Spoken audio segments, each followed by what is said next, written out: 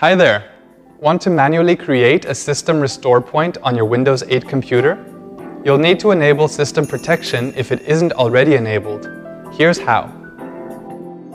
Move the mouse cursor to the top right corner of the screen and it will display the Charms menu.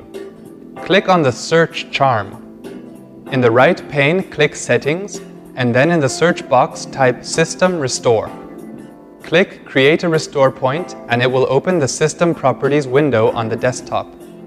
Select the drive you want to enable system protection and then click Configure. Select Turn on System Protection and then click OK.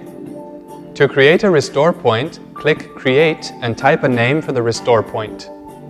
Click on the Create button and then click Close. Click OK to close the System Properties window. Simple, wasn't it? Go on, have fun with your PC. If you face any tech issues you need expert help with, just call iYogi. Good karma.